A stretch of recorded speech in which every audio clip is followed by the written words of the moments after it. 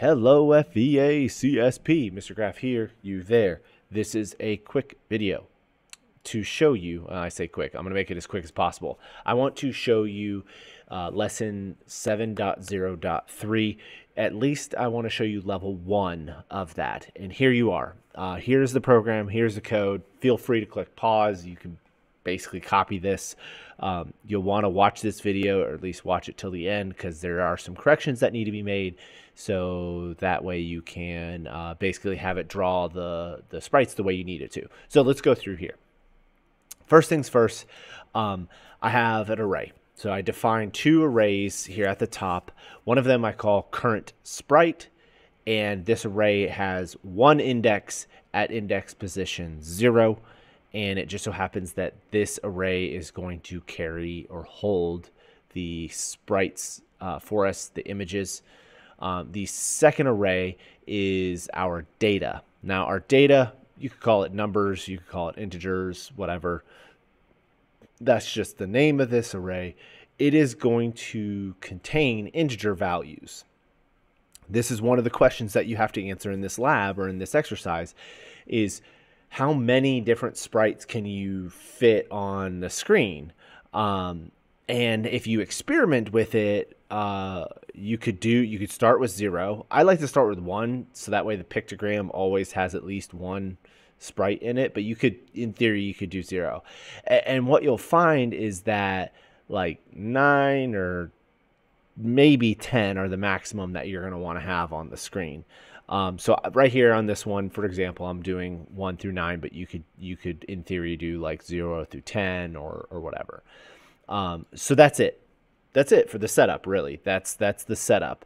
Then what we do is we go into a for loop, and remember, a for loop is going to iterate. You're you're going to want it to cycle, like do something, and then do it again, and then do it again, and then do it again. But for a I, I guess the best way to put it is for a non-predetermined amount. Um, is that I don't know if that's exactly the best way to say it. Instead, uh, I, I'll say it this way: we want this index, we want this for loop to go as many times as the length of the array.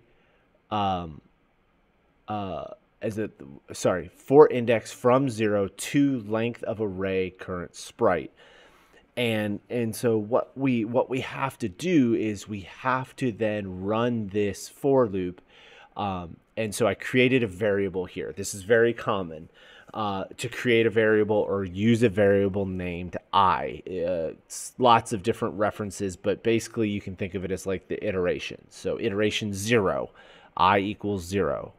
Um, repeat this. So go get that data value which is going to be a random number 1 to 9. So it can be 1, 2, 3, 4, 5, 6, 7, 8, 9. And get the value at index. Okay, so this value at index is going to be the, the cycle number. Okay, so uh, i equals 0 or setting i to 0, that means you're running loop one time um, or the first time. And then if you complete that and run the loop again, that would be i equals 1, which would be the second loop through, and so on and so forth. So um, once we enter this loop, getting this, sorry, getting this data value from here, which is going to be a random number 1 to 9, we're going to get the value at the index loop, which is right here. Um, we're then going to set my sprite. Okay, so setting my sprite, just like you normally do this up here at the top, but instead we're going to do it inside this repeat loop. And there's a really good reason why. Because the question asks you to create a program that will basically create a pictogram, which is a bunch of different sprites or images printed row after row. And so you're going to want to create that first row, and then you're going to want to jump down and then create the next row. So that's why you're going to want to put this inside of a for loop and you're going to want to use the current sprite and then get that index value. Okay, I'm going to show you that really quick. Remember, you get your index values from right here. You pull them and drag them like that. Of kind player, actually the kind really doesn't matter. You could do just about any. because um, we're not doing anything with collisions or anything in this. Now, um, look at my, I set my sprite position. Okay. So by setting my sprite position, again, set my sprite position, uh, setting its Y value. This is really important because the Y value is going to be the spacing across the screen. Um, that is related to the index. Okay. Then setting my sprite X value, that's going to be the up and down position. Um, that is going to be in relation to the I value.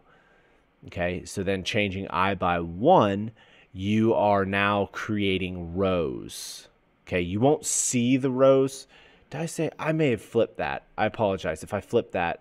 Um, basically, one of these you're going to set up. You're going to need to set up an X and a Y. Yeah, I think I flipped it you're you're controlling your spacing across and your spacing up and down. Uh, let's just see what that looks like, Like because I can show you because I have an example right here.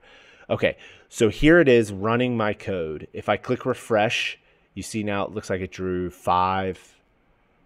Fresh, uh, is that nine, two, five, three, one.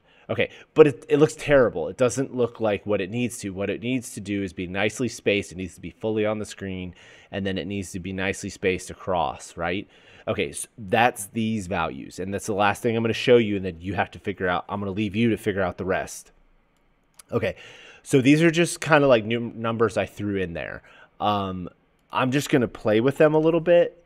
Um, so change that to 10, and oh, okay that brought it down a little. That brought it down and on the screen.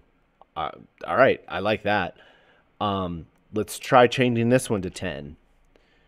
And let's and let's see what happens. Oh, okay. So now the top of the the top of it is not off the screen and the side of it's not off the screen. Let's iterate or okay. So they're still stacked on each other. All right, so let's go here the stacking is a result of one of these two. And so it's like I leave you to encourage I encourage you to try and figure that out. You can even pause the video now if you want and see if you can play with these numbers and, and figure that out. It just so happens that if we adjust this loop, or I'm sorry, this position value, it starts to stretch them out. Crank through it a couple times. If you notice, they're still like right on top of each other like really close. In fact, I think they're just sharing a tiny I think they're just sharing an edge actually, but we want a little bit of a gap. So let, let's let's literally try and just go to 16 and see how that works. That should Okay, maybe they were overlap, overlapping a little bit more. So let's bump it to 17. So we're just barely kind of like incrementally taking it up. Boom. Now there is black space between them. Okay starting to like this more. One, two, three, four, five, six, seven, eight, and the ninth one would go right there. All right, let's see if I can get nine really quick. There we go. One, two, three, four, five, six, seven, eight, nine. Boom. So that's it. Now, what you have to do is, I think it's two more things. You have to figure out how to do two more things. One, figure out how to get more rows of stuff to make a pictogram. And two, make it so that there is a printout or a readout or a number that says uh, this is like nine, um, and then like three, and then one, and then seven. You know, so there's there's many ways to do that. So I, I leave you to figure out how to do that. Um, I definitely encourage you to explore and experiment. Again, this is not easy. This is a revisit. So it's as much about doing the work and experimenting and trying as it is getting it right. So don't focus on being perfect. Instead, focus on learning and engaging with the content.